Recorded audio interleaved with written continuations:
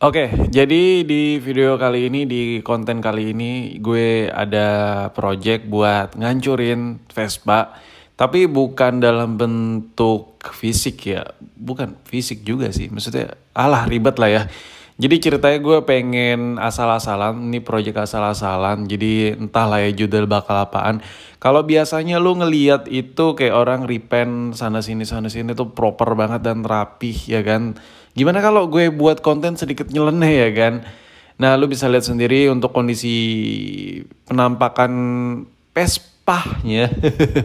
Ini udah ya begitulah ya, cuel-cuel sikit-sikit ya kan. Kayak ada peot-peot di beberapa sudut, terus karbon-karbonannya ya kan udah lekang-lekang ya kan, ya gitu-gitulah ya. Ya maklum lah ya, namanya juga Fucek Boy gimana sih dan sekarang di video kali ini, gue pengen ngechat tapi dengan benar-benar benar-benar tanpa metode apa pun, tanpa ya gitulah pokoknya. Kalau lu uh, komen bang, ca cara ngechatnya salah bukan begitu. Wah lu lu berarti salah salah komen.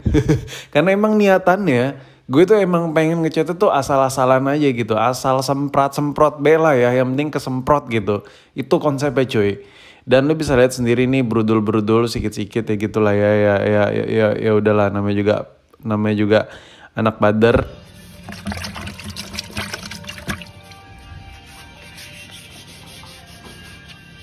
Sebelum melakukan pengecetan, alangkah indahnya bagian permukaannya tuh bersih dulu ya nggak sih? Dan dan dan ini adalah metode asal-asalan ala-ala gue ya kan. Ya, jadi digosok-gosok dulu ya kan biar kinclong tuh gosok-gosok dengan amplas yang super duper halus terus diciprat-cipratin air sedikit-sedikit dicelup-celup sedikit ya kan amplasnya gesek-gesek terus gesek terus bos. Nih tak gesek-gesek. Setelah penggesekan kelar abis itu ya dilap-lap disiram-siram dikit-dikit abis itu baru dicat baru naik warna men. Tapi waktu proses penggesekan ini Wah gila sih. Ini ini sebenarnya ini ngabisin waktu aja sih kayak kayak nggak guna gitu. Berdul-berdul tuh digesek-gesek ini tuh orang mempan bisa men. Seriusan deh. Terus kayak lu ada peot-peot gitu, gesek sana, gesek sini ya kan langsung tiban gitu. Wah gila sih. Ini ini tumbal lah ya, ini tumbal buat lu, lu pade yang yang pengen nyoba ngecat tapi lu masih belum tahu metodenya. Kalau lu asal ngecat, nah jadinya nanti kayak kayak kayak kayak Vespa yang lagi lu lihat ini deh Nah ini udah udah kelar, udah kelar gue gesek-gesek dan udah bisa lihat nih uh, bekas-bekas cat bawaannya sayang banget sih emang nih masih bawaan pabrik tapi ya udahlah ya. Jadi begini udah kegesek-gesek ya kan, udah luntur bagian permukaan luar ya. Tuh lu bisa lihat sendiri tapi ya udahlah ya yang namanya juga buat konten gitu ya kan ngancurin project hancurin gitu. Kalau bisa hancur kenapa harus bener gitu kan? Sumpah dah. Gue gua gua nggak ngerti gitu mindset mindset gue nge YouTube tuh apa gitu ya kan. Tapi gue lebih nggak ngerti lagi kenapa lo nonton gitu ya kan. Nah, nih gue kasih lihat tuh tuh. Anjay, udah udah kayak macam salju di luar negeri gitu ya kan tuh bulir bulirnya ini ini ini salju apa ketombe sih begini tapi swear dah gue ngerasanya kayak sedih gitu. Cat orinya tuh kayak keropos gimana gitu ya kan? Tuh udah kayak tembok layu ya gak sih? Wah gila sih. Gila. Nih sebelah kanannya sama Bella ya tuh. Tuh. Tak gesek gesek ini di slow mo by the way di 240 dan video voiceover ini agak sedikit ribet gue voiceovernya karena kayak mageran banget. Ya step-stepnya lumayan banyak soalnya di video ini. Nah lo udah bisa lihat sendiri nih catnya udah kering kropos-kropos gitu. Setelah itu dicuci habis itu dilap-lap bersih gitu sampai keset habis itu didiamin beberapa saat. Dan kondisinya seperti ini nih masih ya tuh masih ada bekas air-air sedikit. Dan bagian depannya juga sama ini baru disiram-siram tinggal dikeringin dilap-lap sedikit-sedikit tipis-tipis dikeringin habis itu baru deh disemprot-semprot. Nah ini gue lap-lap biar totalitas gitu ya kan. Ya udah gini deh biar biar biar fair gitu ya kan. Mungkin lau-lau di luar sana gitu kan ada mungkin yang mau ganti warna ya kan. Wah jadiin tumbal gitu ya kan. Jangan jangan punya jangan punya gue mulu yang dijadiin tumbal buat buat uji coba gitu. Ngomong apa gue nah ini udah udah kelar dilap-lap. Lap lap lap lap lap lap terus dilap lap terus. Ya semuanya dilap ya. Ini stop lamp lap setelah dirasa kering semua semuanya udah kering terus nggak ada lagi kayak soalnya kenapa harus disiram? Karena tadi bulir-bulirnya yang bekas gue gesek-gesek anjay udah udah tutorial kayak itu. Nggak salahnya pakai tutorial gitu kan pakai explain gitu. Jadi harus menjelaskan gitu kenapa dan akibatnya. Ngomong apa gue dari tadi dan di sini untuk tumbal proyek, tumbal proyek lagi anjay, anjay kebiasaan ya sih. Gua gua kalau ada proyek-proyek itu karena ada tender selalu tumbal sih. Nah, untuk catnya gue pakai warna blue, warna biru. Dan gue tambah epoxy men. Ya, mana coba? Orang macam mana coba ya kan? Minti ban lah. Terus ada clear sedikit, jadi ini habis digesek-gesek langsung tiban biru, habis itu tiban clear. Untuk clear satu layer aja, untuk birunya gue atau mungkin 3, 4 sampai 5 layer dan gue atau bakal cukup atau kagak soalnya gak pakai epoxy dan gak, gak bakal merata warnanya pasti belang sih. Totalitas belangnya gitu ya kan. Project ngancurin ya kan. Namanya juga project ngancurin dan ini lo bisa lihat sendiri nih clear ya. Dan untuk cat clear ini sebenarnya nggak mesti sih, nggak mesti juga sih. Ya tinggal keluhnya aja gitu kan. Ya, ya mau basah sebasah apa ya itu tergantung lunya aja sih. Dan untuk yang gue gunain untuk cat warnanya gue pakai samurai biasa ya kan. Kalau kalau anak-anak ripen itu udah nggak jauh-jauh dari samurai ya kan buat ya ya buat yang kismin kayak gue yang nggak punya airbrush ya kan. Ya ya samurai aja sih.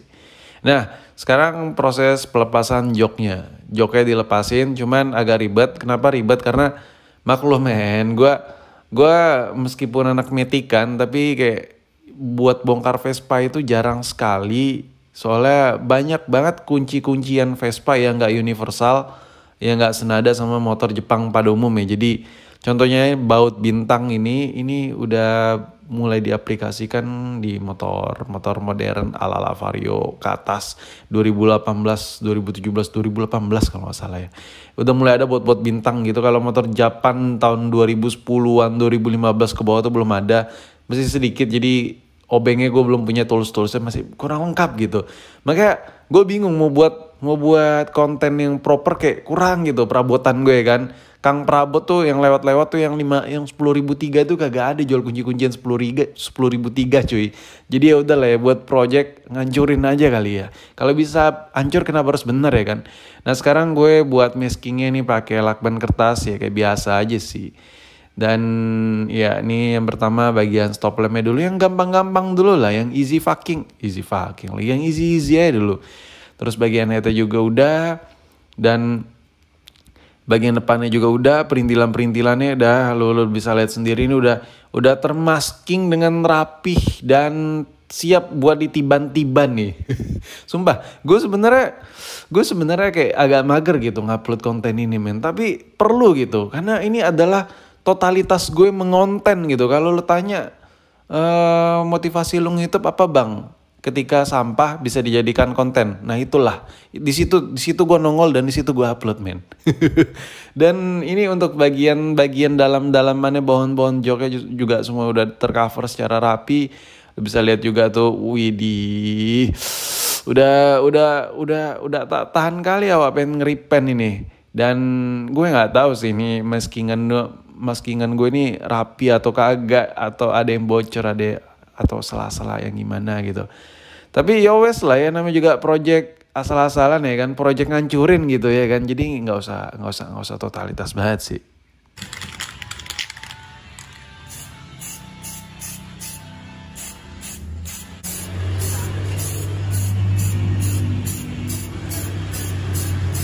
Sumpah deh kalau lu lihat nih cara gue wah gila. Nyemprot. Ini kayak wah ketawanya bukan main gue. Waktu ngedit video ini men. Kayak kayak bocil SD terus pengen nulis-nulis sesuatu di tembok gitu ya kan? Tanpa perkiraan tanpa perhitungan men. Serat srot serat srot. Vertikal horizontal atas bawah maju mundur cat. Ya begitulah pokoknya gue ngecat dan lu bisa lihat sendiri betapa tebal tuh. Nih ada yang tebal loh anjir, ada yang tebal banget tuh, ada yang tipis banget. Widih, widih, widih, widih, menyilang-nyilang gitu. Wah gila, gila, gila. Ini, ini, ini gue top global ini masalah repen-repenan. Seriusan dah. Wanjir. Wah, lo bisa lihat nih ya. Untuk lapisan pertama segoks ini men ya. Rapi banget ya kan gitu.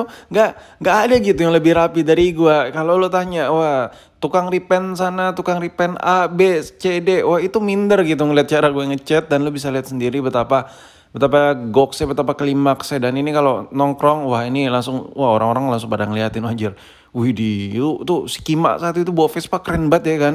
Ya ya gitulah ya ya. Gua gue sebenarnya merendah ya gitu ya kan. Lu bisa lihat sendiri nih hasil gue tuh totalitas Batman nggak ada gitu yang lebih nggak ada gitu yang lebih brilian gitu dari gue dan skill-skill tangan-tangan coli. Maksud gue skill-skill tangan-tangan kreativitas gue ini tuh udah udah totalitas banget tuh lu bisa lihat tuh. Ada yang ada yang tebal ada yang halus. Itu art man itu seni man itu karya seni. Dan dan you know what? Ini nggak ada nggak bisa dihargain man ya kan ini nggak bisa dibeli dengan harga dan ini harus diapresiasi dengan dengan museum men. Caranya apa? Ya, dibakar sih Vespanya. Enggak, enggak, enggak, serius, serius. Dan wah gila, lo bisa lihat men dari sisi kiri. Tebal banget itu ya kan? Wih, dia ada yang corak-corak macan ceritanya ya kan? Wah gila, ini terlalu rapi gua ngecat ya, parah. Ini gue yakin lu lu buat lu di luar sana yang tukang repen nonton ini lu minder kan ngeliat gue kan ya kan? Betapa rapinya gue ngechat kan. Nah kalau lu pengen belajar serapi ini lu DM gue ya nanti gue ajarin trik-triknya ya kan. Siapa tahu usaha lu makin maju. Dan ini udah the best ini. Ini orang kalau kalau pakai jasa repen gue itu bayar mahal men. Soalnya setiap arsiran setiap semprotan setiap tetesan itu ada maksud tersendiri gitu. Nah ini gue skip.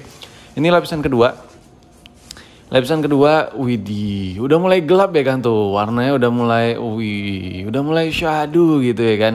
Ini dari bokongnya kan, tuh lu bisa lihat tuh, udah mulai rata gitu tuh, tuh, tuh, tuh, tuh, tuh. Hmm, wih, takjub kan lu ngeliat cara gue ngecat kan, ya kan. Tuh, lu bisa lihat tuh di bagian stepnya, uh, tuh biru-birunya, wow, mantap, mantap banget bos.